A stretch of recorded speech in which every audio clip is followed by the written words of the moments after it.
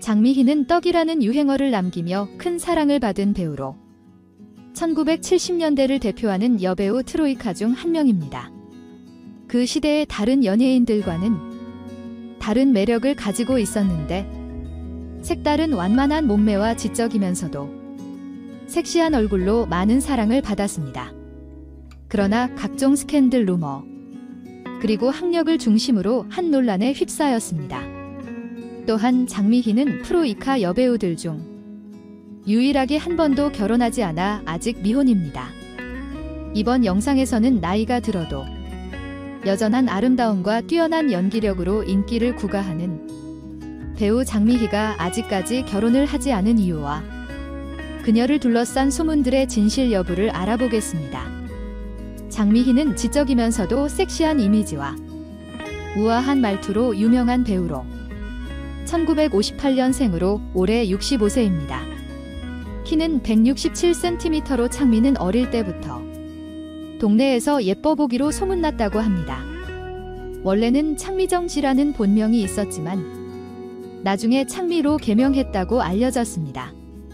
장미희는 유년 시절 아버지가 갑자기 집을 나가 홀어머니가 힘들게 키워주셨는데 예쁜 외모와는 달리 굉장히 활발한 성격을 가지고 있었다고 합니다.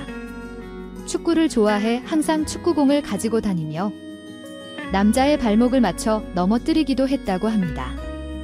장미희는 초등학교 교사로 일하던 중 그녀의 외모를 아까워하는 언니가 1972년 예술대회에 장미희를 강제 출전시켜 금상을 받았다고 알려져 있습니다. 장미희는 1975년 TBC 특채 탤런트로 선발되었고 이후 1976년 박태원 감독의 신인 배우 공채 모집에서 276대 1의 경쟁률을 뚫고 주인공 춘향 역으로 발탁되어 영화 성춘향전두로 대중에게 알려졌습니다. 그 후 장미희는 영화 겨울여자로 최다 관객을 동원하여 흥행 배우로 성장하게 되었습니다. 장미희는 다양한 영화와 드라마에 출연하며 주요한 역할을 맡았으며 유진과 정인과 함께 2세대 여배우 트로이카로서 시대를 열었습니다. 특히 동시대 여배우들과 비교했을 때 장미희의 흥행 역적은 압도적이었습니다. 장미희는 역대 국산 최고 영화 흥행 기록을 두 차례나 경신한 유일한 배우로서 1980년에는 종합소득세 신고에서 8,850만 원을 신고하고 세금으로 1,700만 원을 납부한 것으로 알려져 있습니다. 또한 장미희는 젊은 시절부터 프로 정신이 대단하여 창문을 통해 건물을 이동하거나 눈 위에서 경주용 오토바이를 타며 위험한 연기도 직접 수행하는 등 연기에 대한 열정을 아끼지 않았습니다. 이러한 연기력도 장미희의 성공에 큰 역할을 한 것으로 알려져 있습니다. 탐시정인은 장미희의 외모에 주목되었지만 그녀의 연기 열정에 경쟁의식을 가질 정도였다고 전해지고 있습니다. 하지만 장미희는 1982년 신군부 집권 시기에 출연 금지 연예인 목록에 올라가면서 1984년까지 드라마 활동을 제한받았습니다. 그로 인해 장미희는 연기 공부를 위해 1982년과 1983년에 두 번이나 미국으로 유학을 갔습니다. 이러한 공백기는 장미희의 경력에 큰 영향을 미치게 되었습니다. 이로 인해 정부의 외압이 있었던 것은 아니냐는 소문이 돌기도 했습니다. 이는 장미희의 스캔들 중 가장 유명한 사건입니다. 전두환 전 대통령 시절 전 노안이 장미희에게 질투하며 남자가 있는 감방에 장미희를 납치하여 자궁적출 수술을 시키고 알몸 상태로 5일간 가둔 사건입니다. 이는 사실이 아닌 다른 내용인데 이 스캔들이 떠오르던 시기는 1980년이었고 전두환의 여성 편력과 관련된 루머가 동시에 확산되던 때였습니다. 장미희가 미국 유학을 떠나 활동이 갑자기 뜸해지면서 루머가 번지게 되었습니다. 이러한 스캔들은 당시 큰 파장을 일으키며 이를 영화화한 서울 무지개가 1989년에 상영되어 큰 흥행을 이룬 적도 있었습니다. 그러나 다행히 장미희는 1982년에 비국 오 깊고 푸른 밤을 비롯하여 그의 흥행 1위를 차지한 사회의 찬미 등의 히트작을 통해 활발하게 활동하며 이러한 루머들은 점차 사라지게 되었습니다. 장미희 본인도 루머에 대해 인정한 적이 없으며 종편의 연예계 뒷담화 프로그램에서도 다루지 않은 것으로 알려져 있습니다. 아직까지 장미희가 미혼인 점 때문에 계속해서 관심이 나오는 것입니다. 그러나 사실 몇 번의 연애 관련 소문이 더 있었습니다. 장미희의 연기 인생은 배창호 감독과의 만남을 통해 전환점을 맞이했습니다. 배창호가 감독을 맡은 반성기와 함께 주연을 맡은 깊고 푸른 밤은 큰 성공을 거두었기 때문입니다. 이후 척도의 꽃대 흥행 성공으로 대종상 수상까지 이어지게 되었는데 이는 미국 유학 후 힘들 줄 알았던 연기 인생에 다시 한번 전성기를 누리게 되는 계기가 되었습니다. 특히 깊고 푸른 밤은 장미희가 이전에 보여줬던 처녀 혹은 아가씨의 이미지에서 벗어나 원숭미 있는 모습을 보여줌으로써 색다른 충격을 주었고 지금까지와는 다른 모습을 보여줄 수 있는 발판을 제공했습니다.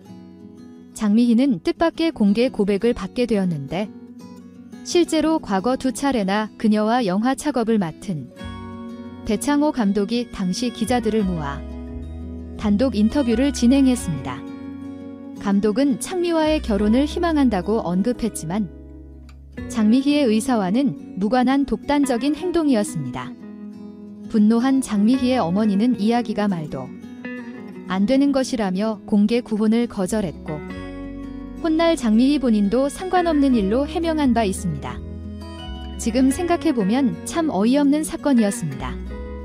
그러나 배창호 감독은 실제로 장미희에게 많은 감탄을 표했다고 합니다. 배창호는 무명 시절 우연히 장미희의 친절함에 감동을 받았고 이후 감독을 맡으면서 장미희와 오랜 기간 호흡을 맞추며 연정을 품은 것으로 알려졌습니다. 그러나 장미희가 당시 마음에 품고 있던 사람은 따로 있었습니다. 1983년 26살의 장미희는 과거에 잘 나갔던 경남 기업 사장과 약혼 소식을 전했습니다. 사장은 장미희보다 19살 연상의 남성이었는데 실제로 그 당시 두 사람은 서로에게 매우 기뻤으며 결혼 날짜까지 잡았다고 합니다. 파리에서 미래를 함께할 사진까지 공개되기도 했을 만큼 이들은 서로에게 특별한 애정을 보여주었습니다.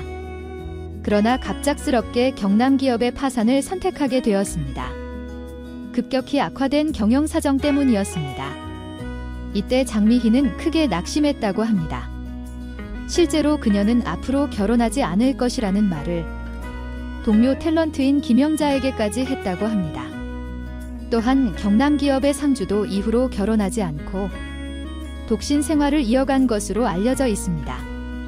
먼 훗날 장비의 동료인 선우용녀는 20년이 지난 후에 이들이 다시 만날 수 있는 자리를 마련했다고 합니다. 그러나 이미 오랜 시간이 지나신 6살의 창민은 이 만남 제안을 거절했다고 전해졌습니다. 당시 장미희는 과거의 인연을 추억으로 남기고 독립을 희망했다고 합니다. 한편 장미희는 학력 위조 논란에 시달렸습니다. 예전에는 장미희가 창춘 여자고등학교와 동국대학교 불교학과 그리고 미국 호손대학교를 졸업한 것으로 알려져 있었지만 실제로는 동국대학교 청강생에 불과했던 것으로 밝혀졌습니다. 또한 그녀가 미국 호손대학교를 졸업했다는 주장도 미인가 대학이라는 것으로 밝혀졌습니다. 이러한 학력 관련 논란이 이번에 뿐만이 아니었습니다. 데뷔 초기에 협성 여상 애탄의 미국 대학인 것으로 자신을 가장한 적이 있었기 때문입니다. 이러한 학력 관련 논란으로 장미희는 존 올라의 창민과의 사과 대신 말이 없다며 대답을 회피하는 모습을 보여 논란에 휩싸이기도 했습니다. 나이가 들어도 아름다움과 뛰어난 연기력으로 여전한 인기를 구가하는 배우 장미희는 많은 루머의 주인공이 되기도 했습니다. 루머의 진실 여부는 알 수 없지만 그녀가 평생 결혼하지 않고 혼자 살고 있는 것에는 분명한 이유가 있을 것으로 생각됩니다. 그러나 그녀는 결혼이라는 굴레에서 벗어나 자신만의 우아하고 아름다운 연기 활동을 꾸준히 이어나가며 자신의 꿈을 향해 끊임없이 도전하는 모습은 참으로 멋지게 보입니다. 항상 여배우의 이름하에 멋지게 살아가는 그녀의 모습을 오래도록 지켜보고 싶습니다. 이번 영상 여기까지입니다. 시청해주셔서 감사합니다. 많은 의견을 남겨주세요. 그럼 다음 시간에 또 만납시다.